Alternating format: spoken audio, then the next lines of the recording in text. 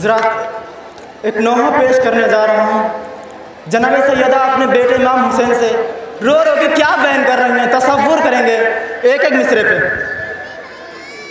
कहती थी सैदा ऐ शहर